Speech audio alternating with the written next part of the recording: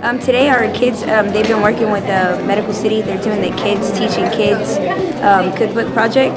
So, our kids um, in the practicum class, they came up with five different recipes um, that they worked on and worked out the nutritional facts for. Um, and then they made samples for to bring in for the event. So this is what we call the site visit of the event of the program, where the culinary high school kids are highlighting the snacks that will be in the book that we distribute to every fourth and fifth grader uh, throughout Irving ISD for free.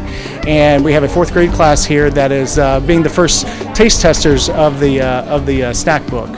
They, they had some pretty strict guidelines with this, with the, the as far as like the sugar and the calories and the fat.